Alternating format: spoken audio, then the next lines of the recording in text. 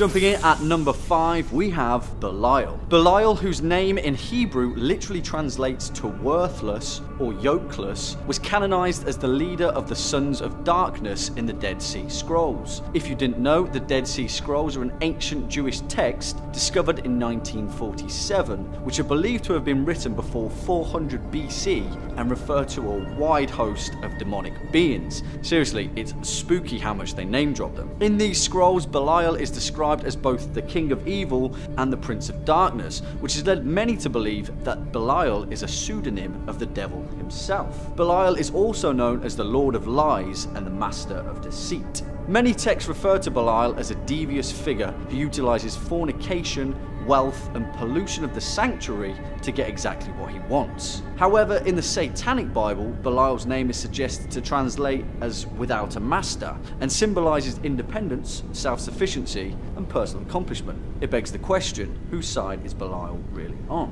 Coming in at number 4 we have Beelzebub. Beelzebub is a Semitic deity that was worshipped in the Philistine city of Ekron. He is often linked with Satan by Christians. In demonology he is one of the seven princes of the underworld. In Christian writings, the name Beelzebub appears as an alternate name to Satan and like I said, is commonly described as a placed higher in the underworld's hierarchy. According to occultist Johannes Wierus, Beelzebub is the chief lieutenant of Lucifer, the emperor of the underworld, and presides over the order of the Fly.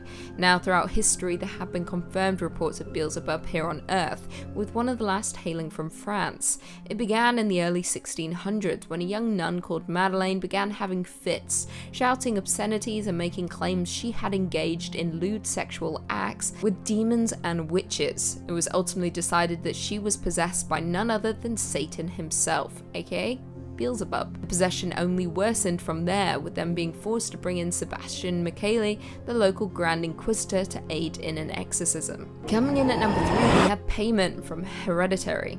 Paimon is a spirit named in the Lesser Key of Solomon and is one of the kings of Kinistan, more obedient to Lucifer than most others, and has 200 legions of demons under his rule. He is said to have a great voice and roars as soon as he comes, speaking in this manner for a while until the conjurer compels him, and then he answers the questions he has been asked. Paimon teaches all arts, philosophy, and sciences and secret things. He can reveal all mysteries of the earth, wind, and water, what the mind is and everything in between.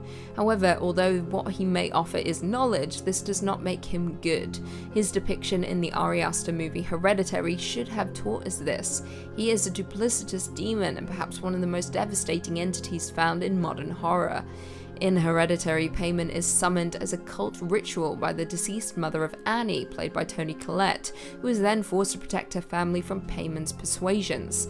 The evil demon first targets the daughter Charlie before going after the son Peter, and of course Paimon invades the body. He commits unspeakable horrors that horror cinema hasn't been blessed with in a very, very long time. Coming in at number 2, the Cenobites, Hellraiser. To quote the Hell Priest Pinhead, explorers in the furthest regions of experience, demons to some, angels to others and that is the perfect way to describe the Cenobites from the works of Clive Barker. The Cenobites are extra-dimensional beings who appear in Barker's works such as the Hellbound Heart, the Scarlet Gospels, and the nine Hellraiser movies. It is said that they can only reach Earth's reality through a schism in time and space, which is opened and closed using certain unearthly artifacts, one of course being the puzzle box called the Lament Configuration. To quote Clive Barker in the Hellbound Heart, why then was he so distressed to set eyes upon them? Was it the scars that covered every inch of their bodies, the flesh cosmetically punctured and sliced and infibulated, then dusted down with ash? Was it the smell of vanilla they brought with them, the sweetness of which did little to disguise the stench beneath? Or was it as the light grew and he scanned them more closely, he saw nothing of joy or even humanity in their maimed faces, only desperation and an appetite that made his bowels ache to be voided? The Cenobites all have horrific mutilations and or body piercings and wear fetishistic black leather that often resembles butchery garments or religious vestments. Now, aside from their grotesque physical depictions, the Cenobites are terrifyingly potent. They come from a disturbing labyrinth where sadomasochism and torture rule. Their ultimate goal is to drag the victims who open the special puzzle box back to their violent netherworld to suffer endless torture. And finally, coming in at number one, we have Pazuzu, the Exorcist best in ancient Mesopotamian religion, Pazuzu was the king of the demons of the wind, brother of Humbaba, and son of the god Hanbi. He also represented the southwestern wind, the bearer of storms and drought. Now, although Pazuzu is himself considered to be an evil spirit, he drives and frightens away other evil spirits, therefore protecting humans against plagues and misfortunes. However, don't get your hopes up because this dude is straight up evil. He was, of course, the evil spirit that possessed a young Regan MacNeil in the 1971 novel The Exorcist, as well as the subsequent movie. In the movie, Pazuzu is both named as the demon antagonist of Regan and the unwitting helper of Father Philip Lamont, as he seeks to free Regan from the demon's grip. It should be said that no cinematic demon has ever been more potent or terrifying than that of Pazuzu, aside from maybe the red tongue-licking demon in Insidious. Not a fan of that one, not a fan at all. Now in The Exorcist, Pazuzu finds its way to the US after being discovered during an archaeological dig in the Middle East. There it infiltrates the body of Regan, with the intention of subsuming her soul. Lovely stuff, isn't it? Pazuzu in turn makes Regan commit some unspeakable acts, such as stabbing herself with a crucifix in areas that we won't mention here, and of course attacking her own mother, before aggressively vomiting up green pea soup. And then of course the infamous scene of Regan spinning her head 180 degrees. What a lovely sight. This 1973 Best Picture winner is still one of the highest grossing films ever made. However, saying that, it is best to steer clear of Pazuzu. There's no need to invoke him, especially not in the middle of the night in front of your mirror. Just cover that thing with a sheet. Almighty Lord, Word of God the Father, Jesus Christ, God and Lord of all creation, your holy apostles the power to tramp underfoot serpents and scorpions. In at 5, Charlie Charlie. Back in 2015, the internet was hit with a brand new challenge called Charlie Charlie, a game and internet urban legend that hit a surge of popularity, particularly amongst the teens on YouTube. Now, the history of the game is vague, but it is reported to have stemmed from a schoolyard game in the Spanish speaking world and has a long history of demonic and supernatural connotations, even being referred to as the poor man's Ouija board. The real question is who exactly is Charlie and how do you summon him? Well, Charlie is reported to be a child who committed suicide, or the victim of a fatal car accident, or even a pagan Mexican deity who has dealings with the devil. Who knows? If you wish to summon Charlie, here's how. Step 1. Draw an X on a piece of paper. Step 2. Label two quadrants no and the other two yes. Step 3. Place two overlapping pencils on each axis. Cross them in the middle. Step 4. Say Charlie Charlie are you there and then ask a question. Step 5. Charlie answers. Coming up at number four, we have Surgat. In Latin, Surgat literally translates to rise and is the physical manifestation of rebellion and opposition. His angelic opposite is Aquil. To be honest, Surgat is a minor demon and is pretty weak sauce compared to some of the guys on this list. But the thing that makes him pretty terrifying is his brush with a particular pope. Written between 1150 and 1227, the Grimoire of Honorius was written by Pope Honorius III with the intention of being specifically used by a priest. Pope Honorius was obsessed with the thought of Satan invading the mortal realm, and so began preparing the Catholic Church for a war. He wrote down his findings in this forgotten grimoire, which wasn't unearthed until 1760. Honorius began his training by purposefully summoning demons, and then banishing them again in a sort of weird, spooky, demonic boxing session. It proved quite effective, and the Pope soon started to get a handle on the armies of hell. He'd write down the name of each demon he fought and leave an elaborate explanation of their strengths and weaknesses. Kind of like a Pokédex, but for demons. That is until he came face to face with Surgat. All that was written in his section of the grimoire was that Surgat is he who opens all locks. That was the last demon that Pope Honorius noted down in his book. Makes you wonder what happened, eh? Next up at number 3, we have the Great Duke of Hell, Berith. Also referred to as Baal Berith, this guy is a pretty formidable dude. Known in the Infernal Dictionary as the Great Duke of Hell, Berith commands 26 legions of demons and is a pretty big player in the fiery depths below. According to Aleister Crowley's illustrated Goetia, those that attempt to speak with Berith soon learn that he's a formidable liar. Crowley refers to him as speaking with a clear and subtle voice, and is a liar when not answering questions. To speak with Berith, the conjurer must wear a silver ring and hold it clearly to their face in respect to the Great Duke. If not, Berith will consume the conjurer for not sincerely paying their respects. Berith is often depicted as a soldier, dressed in red clothes, riding a red horse, and wearing a golden crown. His main function is to corrupt those that crave power, and is often found lingering on both sides of a war. In 1612, a nun from Aix-en-Provence was possessed by Berith. During the exorcism, Berith gave up his own name, as well as the names of all the other demons possessing her, but also the names of the saints who would be most effective in opposing them. That guy loves a good fight. Bringing up at the rear at number 2, we have Pazuzu.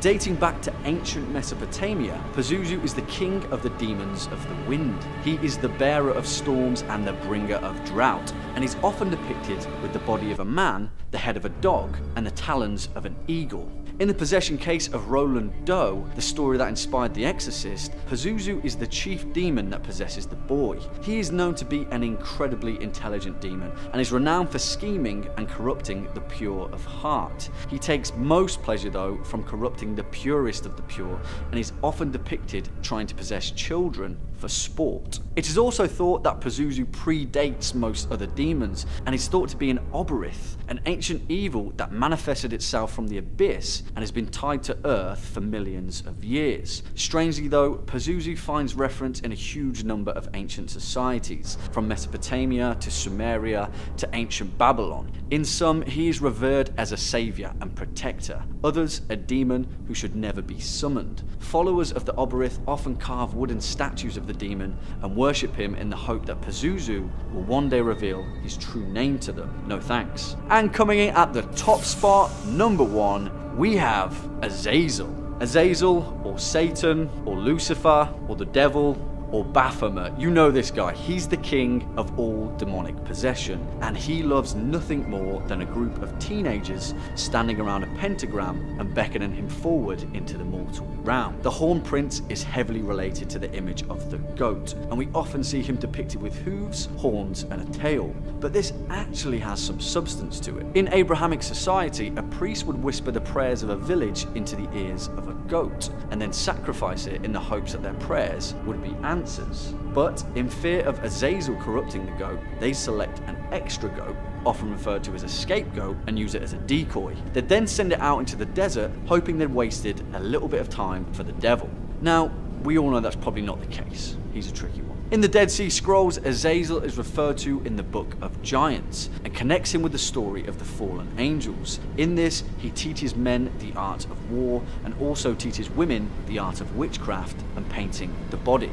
Generally, Azazel pops up in pretty much every possession story ever, and it's probably wiser just to avoid him altogether. Speak of the devil, and the devil shall appear. Coming in at number 5, we have Azazel from Fallen. Azazel is a fallen angel whose evil influence led to the total corruption of humanity. Isn't that fun? Due to being the leader among the fallen angels, the Jewish Book of Enoch commands its readers to ascribe all sin to him. His description has varied throughout history, with him originally being one of heaven's angels, a gloriously beautiful man with wings on his back. However, when he was cast down to earth and became fallen, his beauty became corrupted, in turn taking on a demonic appearance. Once cast down to earth, he became a leader of the Grigori, a group of angels who married mortal women and produced a line of monstrous children. He then began teaching evil to humans, teaching mankind of warfare and the art of deception, before finally teaching us about witchcraft. Now, Azazel has had a big screen appearance in the 1998 crime drama Fallen, which follows homicide detective John Hobbes, who witnesses the execution of serial killer Edgar Reese. However, soon after the execution, the killings begin happening again. In the movie, Azazel evilly outwits Denzel Washington's character, with it being revealed that Azazel's true power is being able to jump from house to house with a passing touch. In at 4, Tsujiura. Also known as the Forest game, this legend originated many years back in Japan. There is little on its history, but the game has become popular across many Japanese teens. Here's how it goes. Find a comb and something to cover your face, head to a crossroad when it's dark, and then run the comb over your teeth three times in order to make noise. After that, chant Tsujiura, Suji Uro. Grant me a true response, three times. Now, if a stranger approaches, be sure to cover your face. This is a demon. You have to ask them to tell your fortune. However, if they refuse, leave it at that. Demons should not be pushed. In at 3, one person hide and seek. Also known as One Man Tag, this game is a ritual for contacting the dead and demons, spirits wandering between realms searching for a host to reside in. In the game you will offer up a host in order to summon one of these spirits. Side note, on the wiki page for the game it has a warning. If you have psychic abilities you may feel unwell or be prone to accidents during the ritual. You have been warned. So how do you summon the demon exactly? Well, here are some things you need. One stuffed doll, rice, enough to fill the doll, one needle, one crimson thread, one pair of nail clippers, one sharp edged tool, one cup of salt water, a bathroom with a bathtub, and a hiding place. Now from there you must remove the stuffing from inside the doll and then fill it with rice. After that is done you must clip your nails and put them inside of the doll as well, then sew up the opening with the crimson thread. When finished, tie up the doll with the leftover thread, Following this, you need to go to your bathroom and fill up the tub before returning to your hiding place where you must put a cup of water on the ground. Now, it's important that you give a name to your doll because at 3am you'll have to repeat that name to the doll three times before putting it in the bathtub. Turn off all the lights in your house, return to your hiding place and then turn on the TV.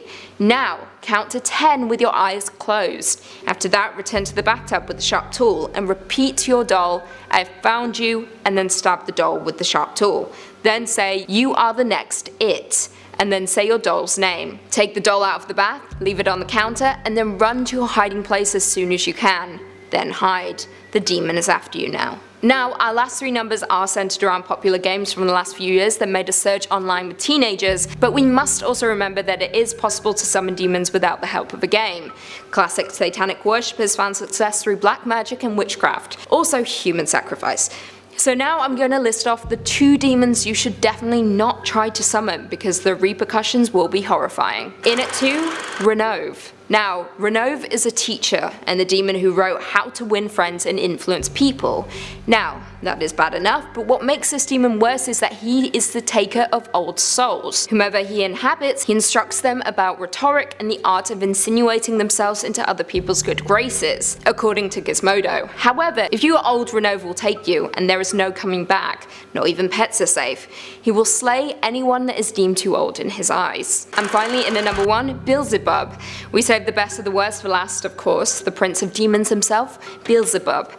History states that in the 1600s a young nun, Madeline, became possessed, having fits and shouting obscenities. She also began making lewd claims that she had been engaging in sexual acts with demons and witches. After some research, it was deemed that she was in fact possessed by the devil. The attacks began to spread through the nunnery, with other women coming forward. A Grand Inquisitor was brought in to help drive out the devil, but it didn't work. However, a shocking revelation came about. The girls accused their priest of inciting her, and that he was in fact aligned with the devil and he was a worshipper of witchcraft. He was even accused of engaging in sexual acts with the woman. The priest was eventually burned at the stake after he told those who questioned him that he would give his soul to the devil. Beelzebub. The moral of the story, don't get possessed by Beelzebub.